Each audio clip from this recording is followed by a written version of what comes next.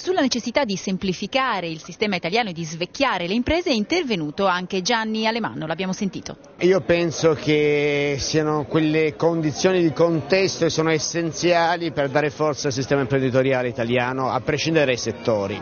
Semplificazione, lotta alla burocrazia, accesso al credito, una giustizia soprattutto civile efficiente, eh, la lotta alla criminalità sono tutte condizioni che permettono all'impresa di operare su un terreno favorevole.